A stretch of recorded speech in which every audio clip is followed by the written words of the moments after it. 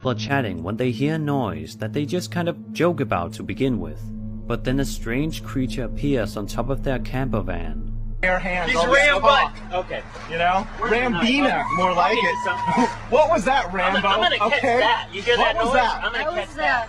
the You couldn't catch that if, if I. Dude, I let got my you. knife right here. What That the thing- fucking What the hell?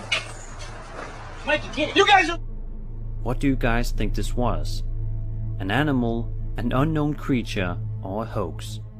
To me, their reactions do seem genuine, but I'm not quite sure. It depends what you think is a natural reaction to an encounter, such as this. A few of the people who have watched the video were creeped out by it, while some said it looked like E.T.,